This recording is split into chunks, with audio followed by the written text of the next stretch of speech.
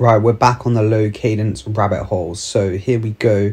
This was posted on Twitter by Knowledge is What, which has some interesting studies, but also maybe some not interesting studies.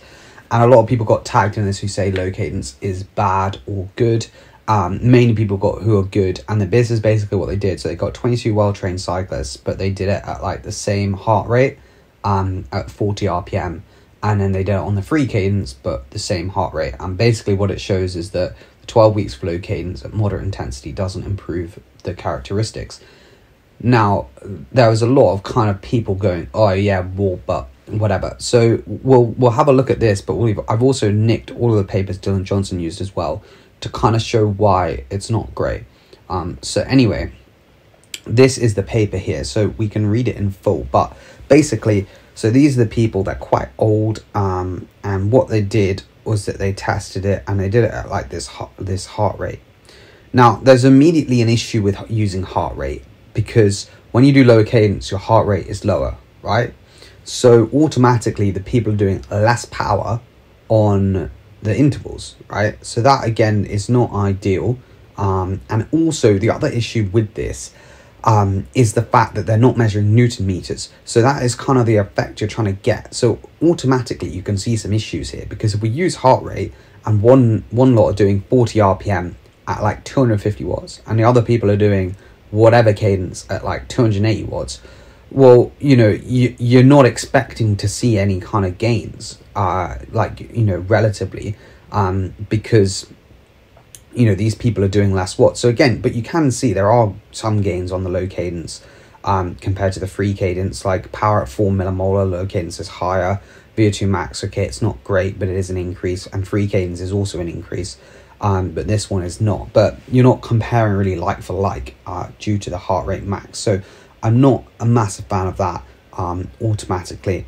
Um, and then if we kind of scroll down to the introduction, we can actually have a look at sort of like how they did all the testing um, with the experimental design. Again, it's like 12, 12 days. They did three three different days with one day rest. Um, but so what you can see if we kind of go down, yeah, it's basically just like a three minute active rest at a freely chosen cadence, um, but low intensity in between each low cadence with a 50 minute warm up. Um, they had 60 minutes of low cadence training um, per week. So it's kind of not the best study because people aren't really doing what they're going to do.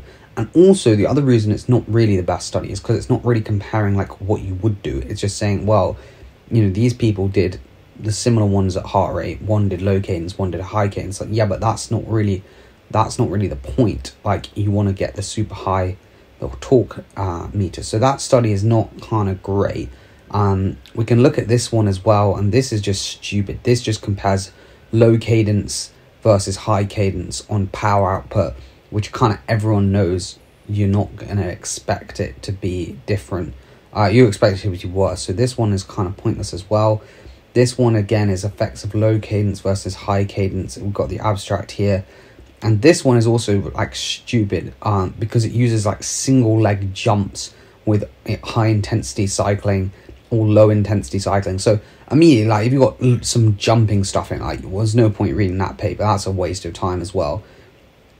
This is a, a systematic review, um, and also, you know, the rate of 80 RPM can be considered low cadence. Well, it's not really. So this meta-analysis is kind of, or a systematic review, whatever they want to call it, is also kind of pointless as well.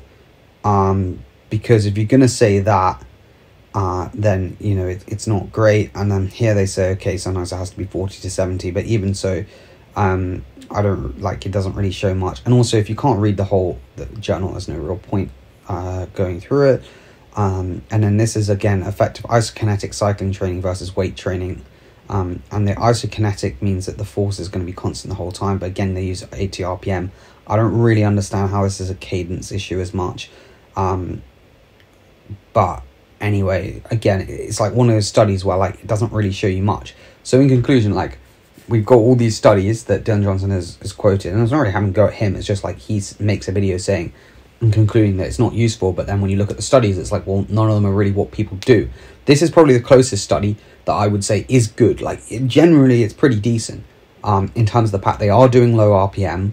They're, you know, Oh, actually, hang on a minute. I just these people are doing different intervals as well. Four by five versus five by six. So this is not. hang on a minute. This is so these people are doing half an hour of intervals. These people are doing twenty minute intervals. The heart rate max is different. Like it's obviously going to be different for the RPM. So again, that is kind of rogue. But this one kind of shows that it's not like a massive game changer in some ways. Uh, but what I would say with this is that the heart rate max is kind of the, the issue.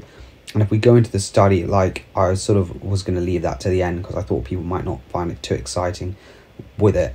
Um, but what we will do, I don't know if they do, if they they don't always show all these the useful things. Um, yeah, yeah, it's just it's just there's not nothing really that makes sense because they're, they're comparing the higher intensity heart rate as well, but I just don't think that's the best way of comparing it. I think it'd be better to look at the watts um, and then the newton meters, and then like that's the kind of adaptations you're going for. If you just look at heart rate, um, then it's not great. Like 73% of your max heart rate is pretty easy. Um, so these are probably like maybe not high enough newton like torque levels.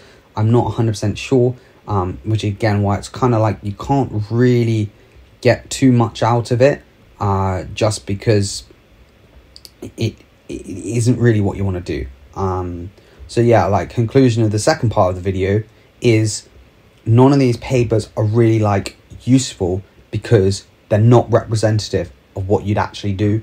So again, I don't think any of this video here is too useful to decide um, whether it's good or bad because there just isn't enough evidence from the papers because uh, yeah okay if you copy one of these then they wouldn't be great but that's not what people are saying when they say to do low cadence intervals